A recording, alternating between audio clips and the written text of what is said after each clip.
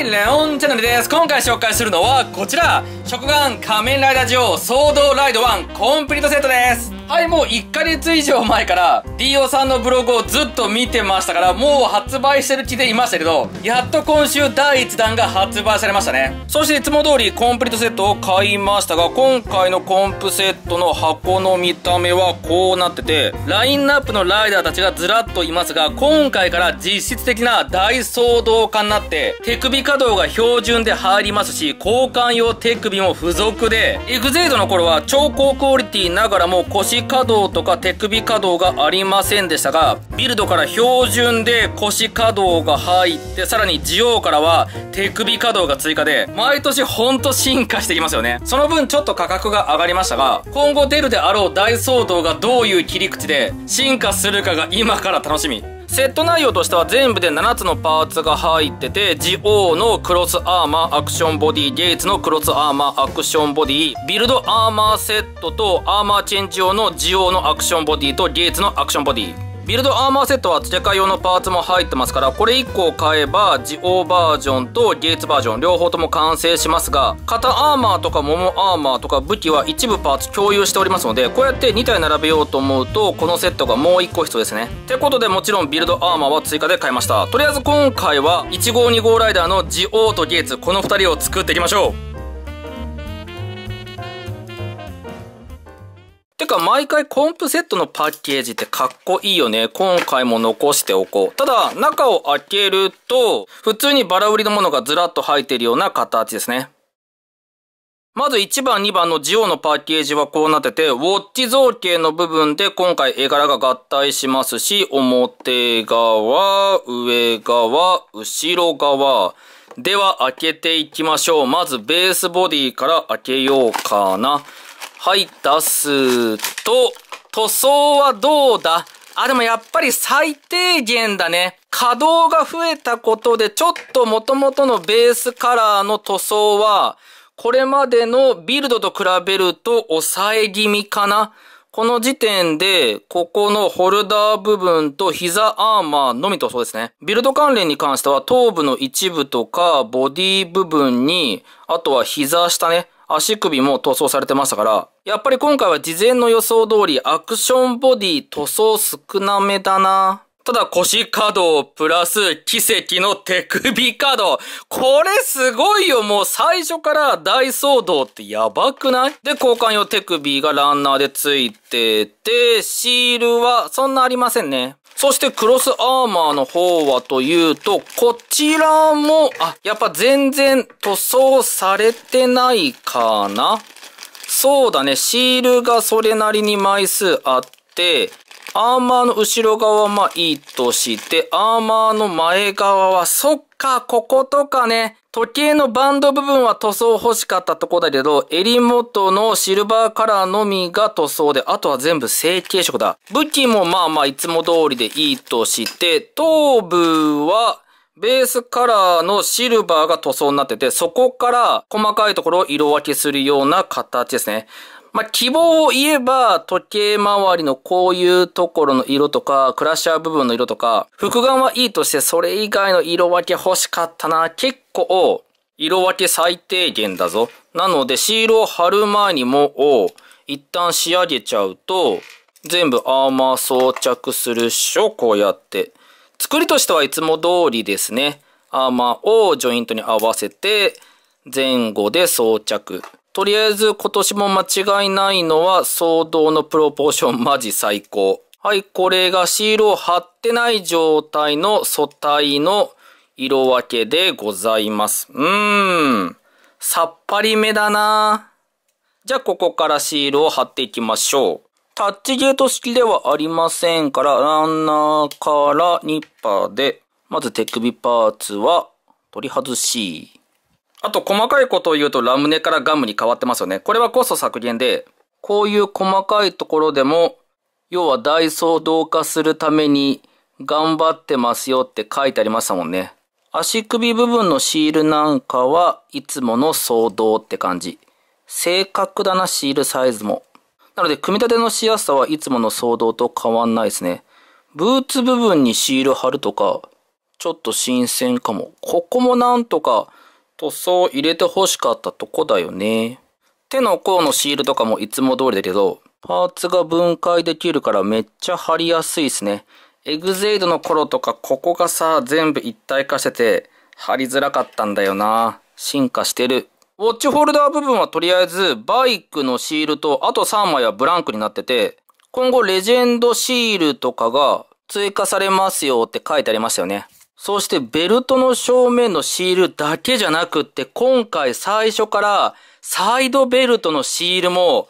ついてるんすよ。これやばい。これまでは大ソードじゃないとサイドベルトのシールつきませんでしたからね。こういう感じでもう無塗装っていうかシールもなかったので大ソードはねありましたけどそれを考えたら標準でこれつくとかやっぱレベル上がってるわ。なんでシールが多くなったというか大騒動化したから当たり前なのか、その辺は。で、時空ドライバーも正面はシールで、これちゃんとね、360度回転できますし、よーく見るとね、2018の文字もありますから、とにかくこだわられてるな。これで、ベースボディ側のシール終わりで、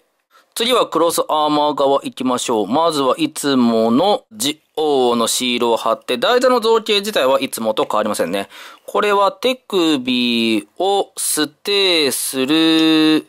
ことはできないか？あれ？できないね。まずは武器の剣のシールを貼って、モールドは超細かいっすね。肩アーマーのシールは1枚にまとまってますので、段差部分なんかも綺麗に貼って、ただ欲を言えば肩アーマーって毎年塗装が入ってたので、メタリック塗装がね。結構これまで塗装があった部分が省かれてる箇所多いよね。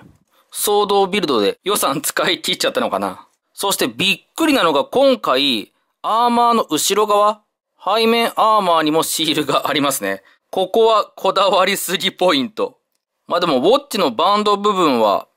ジオウのアイデンティティでもありますもんね。ただ、だからこそ正面アーマーのここのシルバーのバンド部分は塗装表現にして欲しかったなそして綿棒を使うことでめっちゃ綺麗に仕上がりますね。そしてジオウの特徴的な胸筋部分はすごいシール貼りやすくって、ここいいね。これで胸アーマーも OK と。後ろのシール追加は結構感動的だな。最後は頭部だけど、ここのね、後ろ側もきっちりシールで表現でいいね。正面は4つのシールで分割されてて、まずはおでこでしょ？クラッシャー部分って言っていいかわかんないけど、このね、時計の下側、ちゃんとスリットが入ってて、時計の外形部分にすごい吸着しますね。左目のダーの部分と、ここも、このナビがいい感じだね。ただここもスリットがあるおかげで、この外形部分に綺麗に貼ることができます。はい、これで綺麗に貼れました。いいじゃんで、最後は顔の部分にガチャッとね、ボールジョイントに差し込めば、United Time.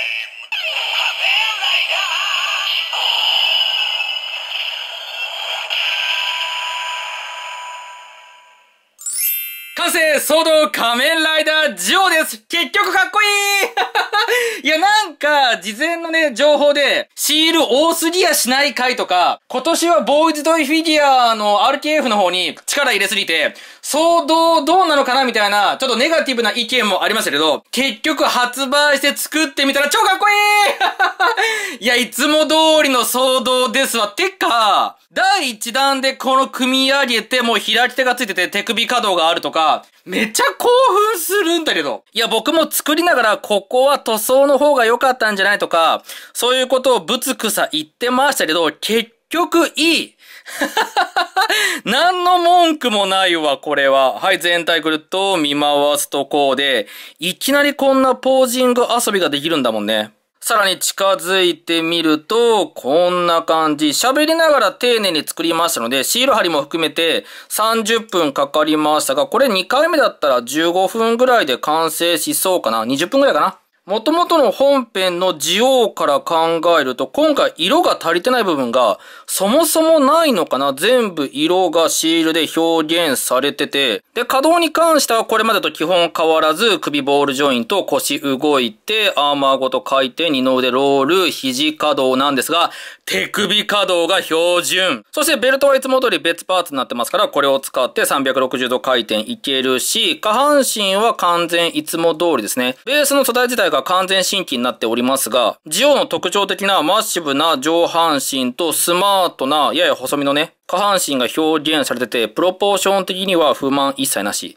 で、こんなに動くし、ももロール、膝はここまでで、足首はボールジョイント。なのでこの最初からついてる開き手のおかげで、すだちポーズなんかもめっちゃ決まりますし、スケール自体はこれまでの騒動と変わりませんので、同スケールで飾ることができますね。本編でもビルドとエグゼードは登場しましたので、こういう風に共闘っぽくもできるし、やっぱ改めて見ると顔周りの仕上げ方とか進化してますよね。より本編っぽい第一弾とは思えないぐらいの完成度。RTFGO と並べるところで、こっちが11センチで、こっちが13センチですから、2センチの差でこのボリューム感の差別化がされてるような形で、ただ改めて見比べると、シールのおかげで、アーマーの後ろまで全部色が入っておりますし、こんな比較ね、頭部なんかも違うし、つま先なんかも色が今回多かったりとか、シールとはいえ頭部の色分けも相当の方がより細かめですよね。あとは肩アーマーが別パーツなおかげで、この上半身のごつさね、ここもしっかり表現されておりますし、ただこっちに関してはもうこの状態からアーマー装着ですから、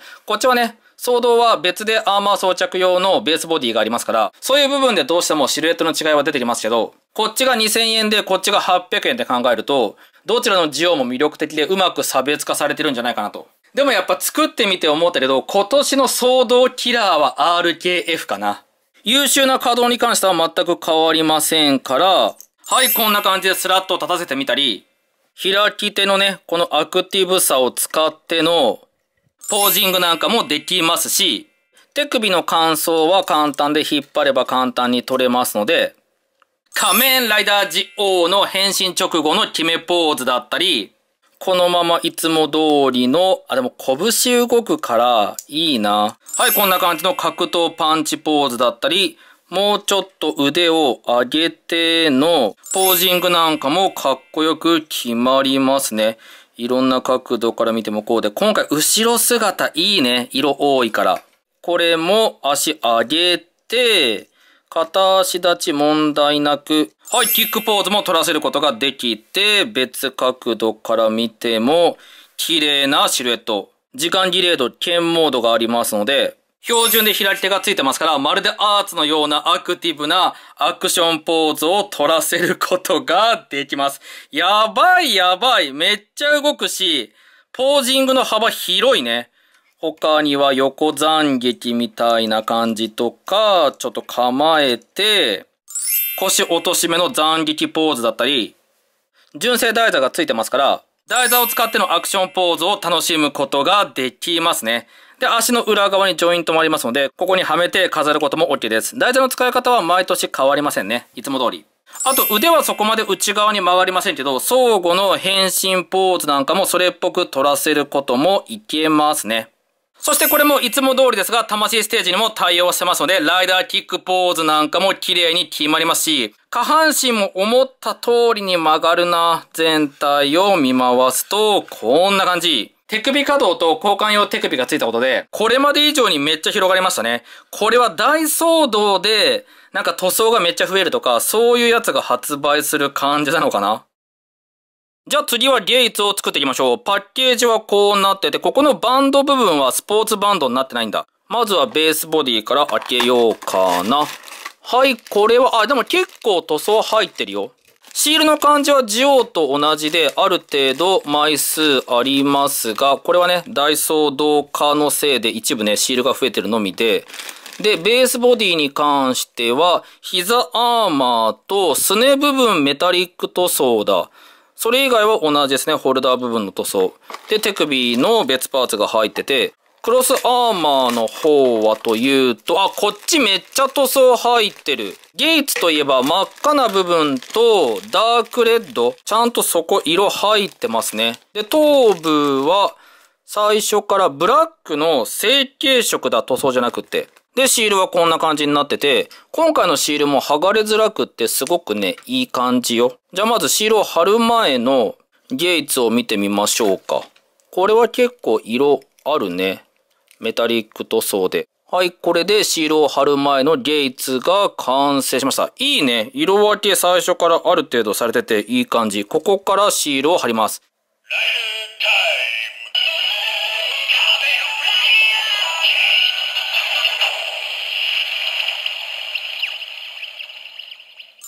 はい、完成総動仮面ライダーゲーツですはい、2体目ということもあって、約15分で完成しました。シールの貼る箇所がジオと全く変わりませんでしたから、さすがに2つ目は完成が早かったのと、ゲイツの騒動もいい。てか、こっちの方が塗装が多いから、個人的にはこっちの方が好きかな。はい、全体をぐるっと見回すとこうで、基本造形というかプロポーションは、ジオと同じですが、アーマーとか本体カラーとかが大きく変わってて、ゲーツも後ろまでしっかりシールがありますので、ほとんど色省きがないですね。そして顔周りのオールシールなんかも、やっぱ作ってみるとゲーツでもほとんど気になんないな。いつもの騒動って感じ。とはいえ、もともと成形色でね、ある程度色分けされてますからね、かっけーゲイツこれいいな。で、シール箇所的には同じようにブーツ部分と足首とここの柄とホルダーのウォッチ側ですね。これが4枚と手首の甲の部分とサイドベルトとここのウォッチのベルト、バンド部分と正面のドライバーと肩アーマーの一部、あと胸アーマーの一部と顔は全部シールになっております。で、手首も開き手状態と握り手と2種類あって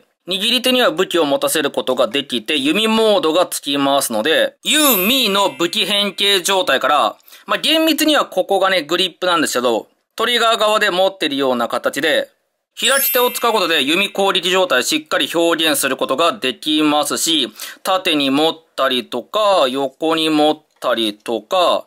持つ方向を変えての弓攻撃状態、ジャンプ状態の射撃ポーズもいけますし、武器武装状態のすだちポーズなんかも普通にかっこいいですね。で、武器がなくても、手首を変えて、格闘ポーズ表現だったり、パンチ後ろから見ても、シルエットいい感じ。キックポーズなんかも、はい、問題なくバランスよく決めることができますね。角度を変えても、いい感じ。あと完全にベルトに手を回すことはできませんが、それっぽく回転ポーズなんかもいけたりとか、開き手がついてるということでまっすぐ手を広げて、特徴的なキレキレの変身ポーズなんかも取らせることができますね。ここまでできる騒動やばい。それと RKF と並べて比較するとこで、やっぱ今回の騒動の方が色が多いから、ギーツに関しては見た目 RKF より騒動の方が勝利かな。まあでもこっちはね、もともとアーマー装着ありきの素体になってますから、そういう違いはありますが、色分け、騒動の方がよりクオリティ高いかな。うん。やっぱいいよね。上半身とか見比べると結構仕様が違う感じ。あとは握り手と左手があるおかげで、ゲーツらしく握り拳でロック解除とか、こういうポージングもできますね。そしてゲーツもジオ同様に可動範囲変わりませんし、よく動きますので、ライダーキック状態も非常にかっこよく決まります。そして1号2号ライダーが早速揃ったことで、同時変身ポーズなんかも取らせられますし、同じ騒動同士でジオとゲーツを並べると、こんな感じ。こういう並びが第一弾で揃うのもいいですよね。そして過去の騒動系とスケールが合うってことで、第2話のような4並びも可能ですから、こうやって過去ライダーとスケールバッチリなのいいですよね。はい、さらに、寄りで見ると、こんな感じで、ポーズ決め状態の2ライダー並びすげえいいんだけど。ジオウとゲーツに関しては、これまで騒動を買ってきた人も、まだ騒動デビューしてない人も、まずは手に取って作ってほしいな。